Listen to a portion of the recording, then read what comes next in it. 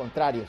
Hoy Ronnie Martínez aprovecha esa pelota que le queda a modo para poder anotar el gol. Más bien es Melgares. Melgares. El que estábamos diciendo, ¿qué pasa con Osman que no es el mismo de siempre?